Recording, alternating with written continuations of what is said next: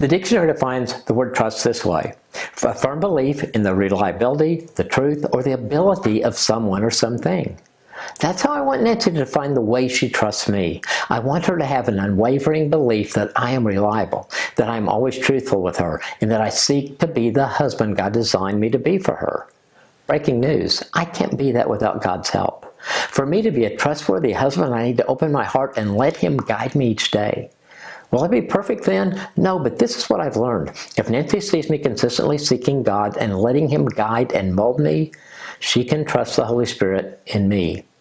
I may falter and maybe even fail, but she trusts the path the Lord has put me on. How would you rate the trust in your marriage today?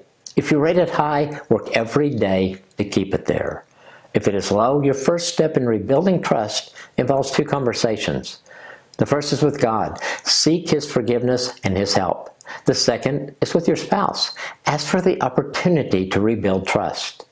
Please don't shrug this one off. Trust is a foundational piece of an awesome marriage. Your one thing today, evaluate the trust in your marriage and then commit to keeping the trust level high or rebuilding trust with your spouse.